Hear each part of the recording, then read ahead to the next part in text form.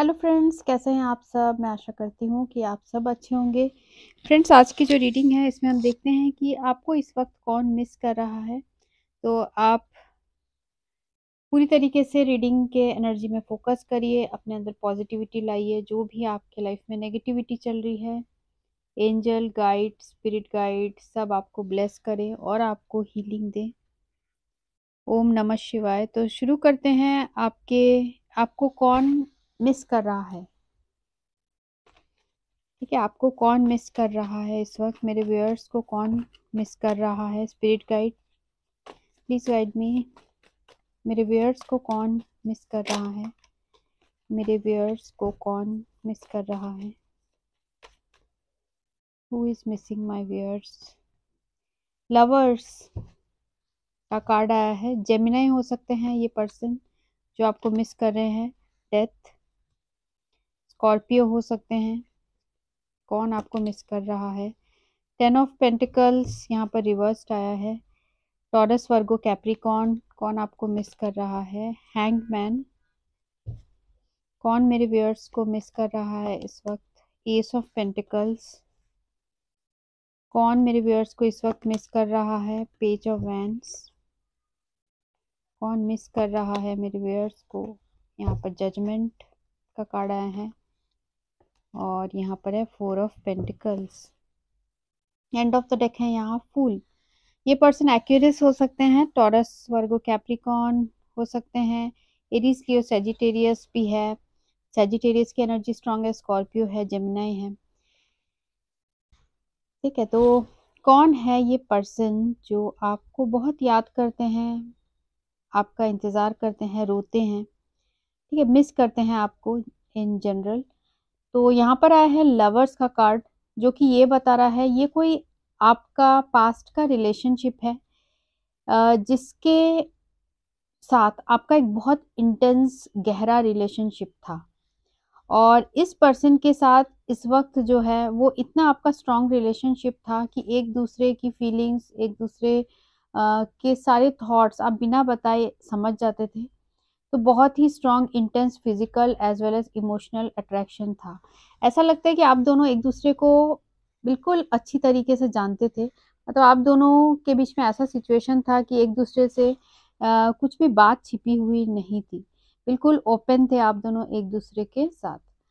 तो ऐसा कोई पर्सन है जिसके साथ आपका पास्ट का बॉन्ड रहा है बहुत स्ट्रॉन्ग बॉन्ड रहा है बहुत प्यार रहा है तो ये जो पर्सन है, ये आपको इस वक्त मिस कर रहे हैं, जिनके साथ आपका रिलेशनशिप इस वक्त किसी ट्रांसफॉर्मेशन से गुजर रहा है या फिर हो सकता है एंड हो चुका है। ठीक है, वो पर्सन जो है स्कॉर्पियो स्ट्रांगली हो सकते हैं। तो ये पर्सन जो है, इनके लाइफ में या तो कोई बिल्कुल चेंज आ चुका है या फिर आप दोनों का रिलेशनशिप एंड हो चुका है। ये पर्सन उस एंडिंग के बारे में सोच के बहुत ज़्यादा अपसेट हैं। ये कोई ऐसे भी पर्सन है जो कि अपने फैमिली वैल्यूज़ की वजह से ट्रेडिशन की वजह से या फिर फाइनेंसेस की वजह से खासकर जो है फैमिली वैल्यूज़ की वजह से फैमिली की वजह से इन्होंने आपके साथ जो है रिलेशनशिप को कट ऑफ़ किया था। अब ये पर्सन ऐसा लगता है कि इन्होंने आ, ये जो पर्सन है ये इनको लगता है कि इन्होंने इस रिलेशनशिप का सेक्रीफाइस किया है। कहीं कहीं कहीं ना कहीं आपने भी किया है और इस पर्सन ने भी अपनी खुशियों का सेक्रीफाइस यहाँ पर किया है। ठीक है? यहाँ पर आप दोनों के बीच में ब्लॉक सिचुएशन है। चीज़ें आप दोनों के बीच में कभी आ, अभी भी अगर एंड हो गया रिलेशनशिप तो ख़त्म नहीं हुआ है। तो ऐसा कोई ये पर्सन हो सकता है। खासकर मुझे यहाँ कोई पास्ट का आपका लवर दिख रहा है। ये पर्सन आपके सोल में ट्विन फ्लेम भी हो सकते हैं। जिन के साथ इस वक्त आपका सपरेशन पीरियड चल रहा है। और ये सपरेशन जो आप दोनों के बीच में हुआ है, ये यूनिवर्स की तरफ़ से ही हुआ है। ठीक है, इसमें इस पर्सन का भी दोष नहीं है और आपका भी दोष नहीं है। तो इस जो रिलेशनशिप का ब्रेकअप हुआ है, ना ये आपकी गलती है, ना ये इस पर्सन की गलती है, ये यूनिवर्स के तरफ़ से ही हुआ है। ठीक है, ये यूनिवर्स की तरफ़ से इसलिए हुआ है जिससे कि हो सकता है कि आप अपने लाइफ में या ये पर्सन अपने लाइफ में बहुत सारे ऐसे रॉन्ग बिलीव्स जो है होल्ड करके रखे थे तो ये इमोशनली आप दोनों को ही ऐसा लगता है फ्री करने के लिए जिससे कि आप और भी समझो लाइफ के इस प्रोसेस को समझो, इस जर्नी को समझो। जो भी चीज़ आपने बहुत ज़्यादा होल्ड करके रखा है, जिन चीज़ों को लेके आप बहुत पॉजिटिव हो, ठीक है? हो सकता है वो मटेरियल चीज़ें हो या कुछ चीज़ें आपने अपने अंदर ही अ, अपने नेचर में कुछ ऐसे अ, हो सकता है कुछ ऐसी चीज़ें हैं, जो आपने होल्ड करके रखे हैं, तो यूनिवर्स चाहते हैं आप उनको रिलीज़ करो। और इस वजह से ये रिलेशनशिप आपके लाइफ में आया और आपके साथ इस पर्सन का सपरेशन भी जो हुआ, ये ईश्वर की मर्ज़ी से ही हुआ है और ईश्वर की मर्ज़ी से ही आप दोनों दोबारा रीयूनाइट होंगे। ठीक है? ये कोई स्पिरिचुअल कनेक्शन मुझे नज़र आ रहा है। आपको यहाँ पर जो पर्सन मिस कर रहे हैं, वो अ, ऐसा लगता है अ, कि ये पर्सन आपके लाइफ में आने के बाद हो सकता है आप बहुत ज़्यादा बहुत ज़्यादा आपके अंदर एक ऐसा लगता है मुझे जोश आया था, आप बहुत ज़्यादा एक्टिव हुए थे। ये पर्सन ने ऐसा लगता है कि आपको एक तरीके से बहुत एक इंस्पिरेशन की तरह है, इस पर्सन ने आपको जीना सिखाया है। ठीक है? या आपने इस पर्सन को सिखाया है। तो दोनों एक-दूसरे के आप दोनों काउंटर पार्ट हो और एक-दूसरे से एक जो है आप दोनों का बॉन्ड बहुत स्ट्रॉन्ग था। तो ये पर्सन इसलिए आपको मिस करते हैं क्योंकि आप ही एक ऐसे पर्सन हो जो इनके लाइफ में एक बहुत मेजर ट्रांसफॉर्मेशन आपने इनके लाइफ में लाया है। हो सकता है आप दोनों बहुत कम एज में एक-दूसरे से मिले हो। ठीक है? वर्क प्लेस में मिले हो, ऐसा हो सकता है कि वर्क प्लेस में मिले हो, अपनी पहली जॉब में मिले हो, ऐसा मुझे नज़र आ रहा है। ये जब आपके लाइफ में ये रिलेशनशिप आया तो इस पर्सन को भी ऐसा लगा जैसे ईश्वर ने ये रिलेशनशिप जो है आपके पास भेजा है, इस पर्सन को आपके पास भेजा है, आपके पर्सन को भी ऐसा लगा इस पर्सन को भी ऐसा लगा कि ये रिलेशनशिप ईश्वर की तरफ़ से आया है। ऐसा लग रहा था आप दोनों ने जब इस पर्सन के साथ हुआ तो आप ऐसा लगता है कि सातवें आसमान में थे आपने बहुत आप केयर फ्री रहते थे, बहुत खुश रहते थे क्योंकि ये जो पर्सन है आपके अंदर वही चीज़ चेंज करने आए थे, जो आपके अंदर जो एक रेस्ट्रिक्शन था उसको हटाने के लिए ही ये पर्सन आपके पास आए थे, आपके लाइफ में आए थे, एक नई दिशा देने के लिए आप दोनों एक-दूसरे के लाइफ में आए थे। मुझे ऐसा भी लग रहा है कि ये पर्सन कोई ऐसे भी हो सकते हैं जो आपसे इस वक़्त डिस्टेंस में रहते हैं।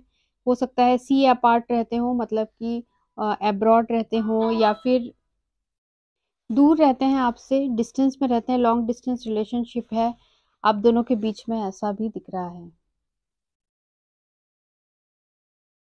ठीक है, कुछ लोगों के लिए हो सकता है कि ये इस पर्सन के और आपके बीच में कोई थर्ड पार्टी सिचुएशन है या फिर ऑलरेडी रिलेशनशिप हो सकता है। आप दोनों के बीच में जो रिलेशनशिप रहा है हो सकता है वो सीक्रेट रहा हो, ठीक है? बताया नहीं हो फैमिली को, ऐसा भी यहाँ पर नज़र आ रहा है। तो देखते हैं ये कौन पर्सन है जो आपको बहुत मिस करते हैं? ये कौन पर्सन है जो आपको बहुत मिस करते हैं? ठीक है, पायलट का कार्ड आया है या फिर हो सकता है ये पर्सन बहुत दूर रहते हो बहुत डिस्टेंस में आपसे रहते हो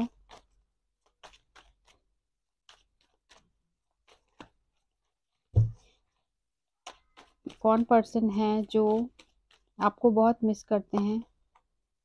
ये पर्सन नेचर लवर हो सकते हैं। एनवायरनमेंट को, नेचर को से बहुत लगाव रखने वाले। आप कौन है ये पर्सन? ब्लैक हेयर इस पर्सन के ब्लैक हेयर हो सकते हैं।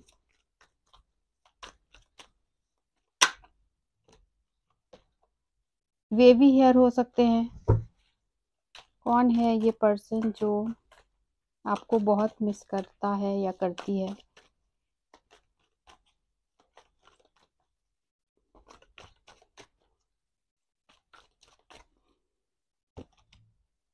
कैट पर्सन हो सकते हैं, इनको कैट बहुत ज़्यादा पसंद हो सकता है। या इनका इनके पास जो पेट है वो कैट हो सकता है। ये पर्सन सैजिटेरियस हो सकते हैं।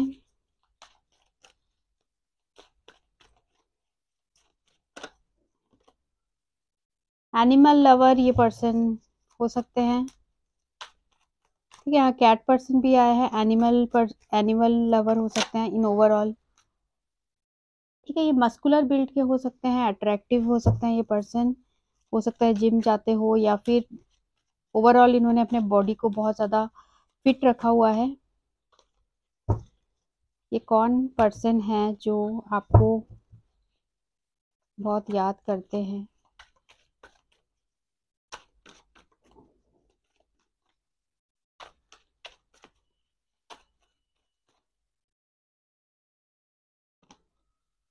शेफ हो सकते हैं या अच्छे कुक हो सकते हैं।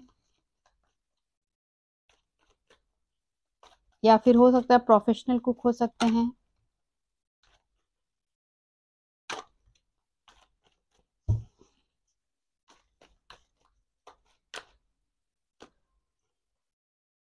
बुक लवर का कार्ड आया है, ये पर्सन को बुक्स पढ़ना पसंद हो सकता है बुक लवर हो सकते हैं।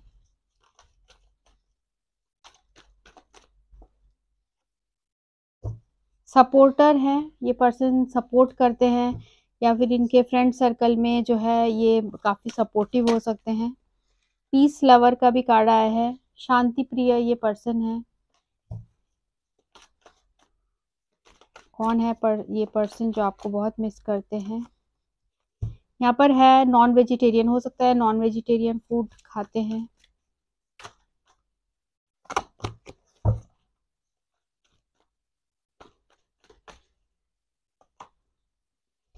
हो सकता है टैटू है इनके बॉडी में टैटू लवर हो सकते हैं इनको फियर ऑफ़ वाटर हो सकता है पानी से डर लगता हो पानी से आ, हो सकता है डूबने का डर इस तरीके का वाटर फियर इस पर्सन को हो सकता है। ठीक है नाम के इनिशियल्स और डेट ऑफ़ बर्थ भी देख लेते हैं। ये कौन पर्सन है जो मेरे वेयर्स को बहुत मिस करते हैं? एंजल्स प्लीज़ गाइड मी ये कौन पर्सन है जो मेरे वेयर्स को बहुत ज़्यादा मिस करते हैं।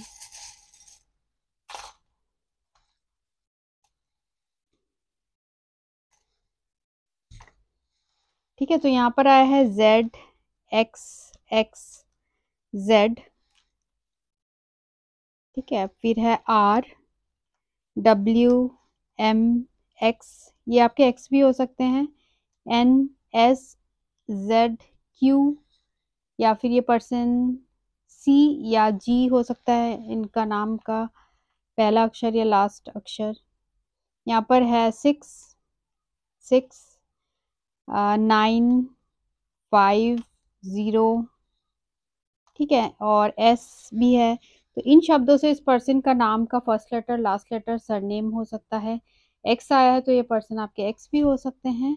और इन लेटर्स इन नंबर से भी इस पर्सन का कुछ हो सकता है लाइफ पाथ नंबर हो या फिर आ, इनका डेट ऑफ़ बर्थ हो ठीक है कुछ भी ऐसे हो सकता है।